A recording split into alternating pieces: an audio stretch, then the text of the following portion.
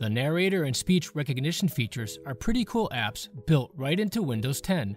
Here is a quick intro to help you get started with personalizing their settings. Narrator reads and interacts with things on the screen, such as text and buttons. It allows you to use your PC without needing the display or a mouse. You can use it to read and write emails, you can work with documents, browse the internet, and complete common tasks. Go into Settings and select Ease of Access. Here you will find a whole array of settings. Choose the type of voice you want.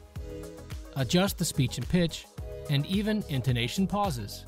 Further down, you can decide which sounds you hear as narrator can read aloud button and control hints, as well as what you're typing. It can be for every character, or just complete words. There is also the option to have interaction with the cursor and the keys. Play around to experiment to find out what works best for your needs. To stop narrator from reading at any time, simply press the Control key. For speech recognition, type in speech and select speech settings. You must choose a language configuration supported for this feature to work. Try using the region and language control if you are having trouble. Configure the text to speech and listen to the preview until you are satisfied, and then set up your microphone.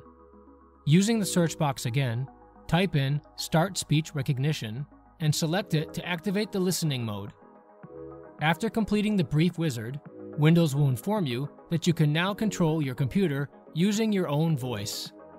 If you have any questions or need any help, reach out to us through social media on Facebook or Twitter, or join in a chat on the Dell Community Forum.